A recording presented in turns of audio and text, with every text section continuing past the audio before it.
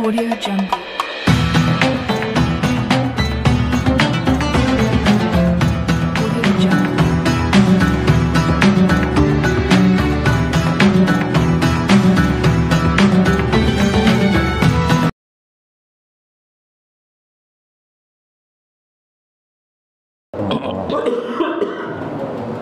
Ayo, siapa mau nanya?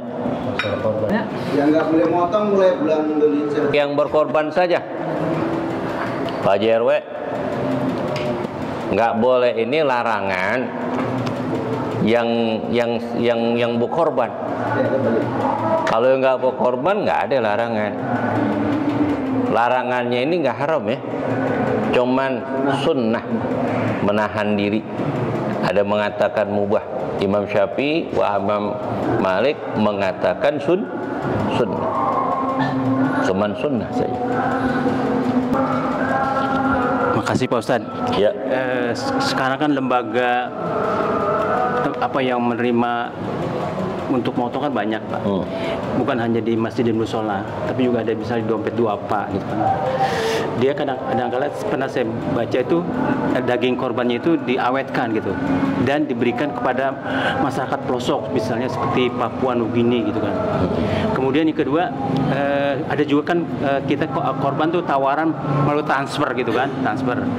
Nah itu transfer itu kan berarti nggak ada ijab kabul Pak Ustadz. Itu bagaimana tuh hukumnya kalau masyarakat yang eh, korban melalui transfer transfer kepada misal dompet dua apa dan lain-lain gitu. Sekian terima kasih. Ini ada dua pertanyaan dari Bapak Lurah Endang. Bagaimana hukumnya jika daging kurban itu dimasak kemudian dimasukin apa? Kaleng kemudian dikirim-kirim ke daerah. Itu enggak apa-apa karena darurat.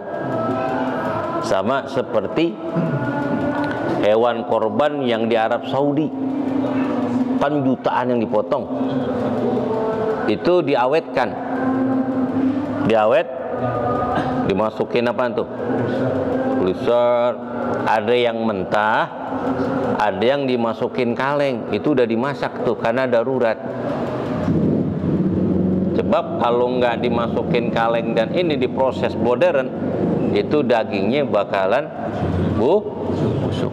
Ini darurat nih kirim ke daerah karena di Arab di Arab itu banyak orang-orang kaya udah nggak butuh. Yang namanya daging kur korban itu darurat sama di Indonesia. Kalau Indonesia kan gampang. Banyak orang yang membutuhkan. Bisa dimasukin es dikirim.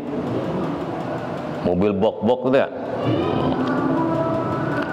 ataupun yang kedua bagaimana hukumnya orang pengen kurban tapi kirim uangnya saja. Kirim uangnya itu sah. Yang penting ada bukti transferan.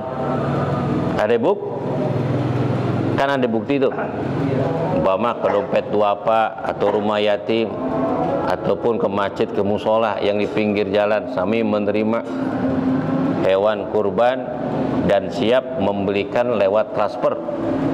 Bisa sekarang udah modern. Udah modern? Yang penting bukti transfernya ada. Kalau kagak ada percuma. Cuma nelpon doang. Udah kirim. Nih saya beli yang seharga 30 juta. Yang 2 jutanya buat operasional ini bukti transfernya. Kan dilihat. Oh iya dah ucapin terima kasih para donatur yang memberikan transferan uang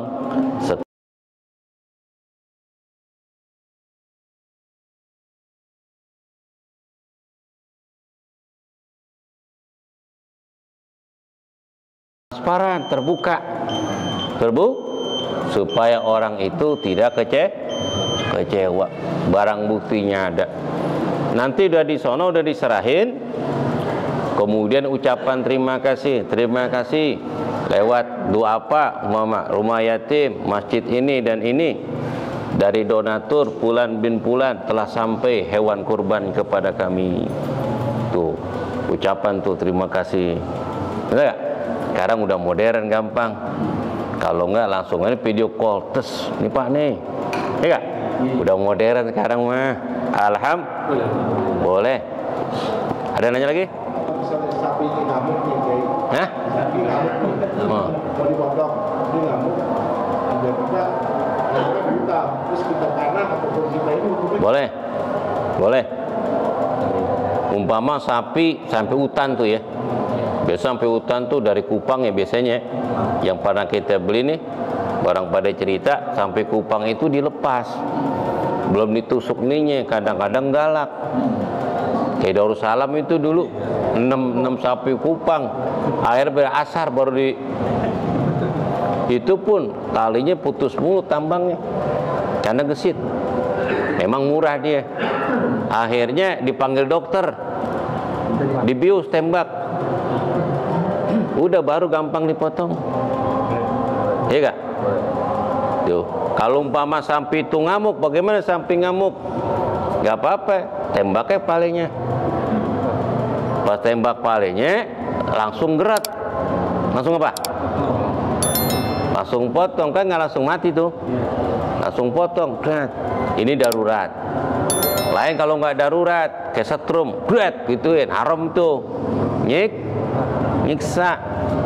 Kalau nggak sapi itu dijagal-jagal umpama di daerah mana itu di luar negeri ketok tuh. Kalau nggak disetrum nggak boleh tuh. Hukumnya siksa. Hukumnya ha haram. Kata Nabi wa jakarta tumpasanukit lah jika kamu ingin membunuh tuh hewan, maka baguskanlah cara pembunuhan dengan cara menyembel